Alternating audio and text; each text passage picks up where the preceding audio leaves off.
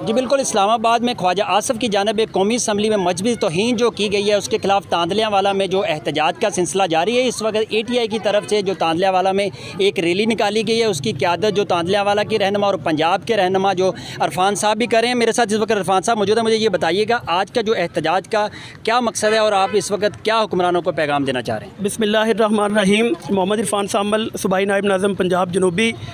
अंजुमन तलबा इस्लाम के प्लेटफार्म से तानले वाला के अंदर ये जो एक एहतजाजी मुजाहरा किया गया है। ख्वाजा आसिफ साहब ने जो कौमी असम्बली के फ्लोर के ऊपर इस्लाम के मुखालिफ एक बहुत बड़ा बयान दिया है। हम उसकी पुरजोर मजम्मत करते हैं और उससे करोड़ों मुसलमानों की दिल आज़ारी हुई है। हम ख्वाजा साहब से अपील करते हैं कि वो अपने इस बयान को वापस लें। अगर वो अपने इस बयान को वापस नहीं लेते हैं और कौन से माफ़ी नहीं मांगते हैं तो हम लोग इन पूरे पाकिस्तान के अंदर एहतजाज करेंगे और तमाम रोड जो हैं उनको ब्लॉक करेंगे और उनसे इस बात का हमारा मुतालबा है कि वो इस बयान को वापस लें और जो मुसलमानों की दिल आज़ारी हुई है ताकि वो जो मुसलमान हैं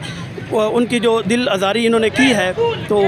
उसी हवाले से हमने ये आज के जो है हमारा जी, बिल्कुल, उनका यही कहना है, जो कौमी असम्बली में ख्वाजा आसफ़ की जानब से जो मजहबी तोहन की गई है, इसका जो फिल फोर, इसकी ये मजामत भी कर रहे हैं और इस बयान को वापस लेने के लिए ये एहतजाज कर। रहे हैं उनका यही मतालबा है कि जब तक उन्होंने कौमी असम्बली में आके माफ़ी ना मांगी, हम एहतजाज करते रहेंगे और पूरे पाकिस्तान में जो हमारे एहतजाज का जो दायरा है, इसको वसी करेंगे। जी।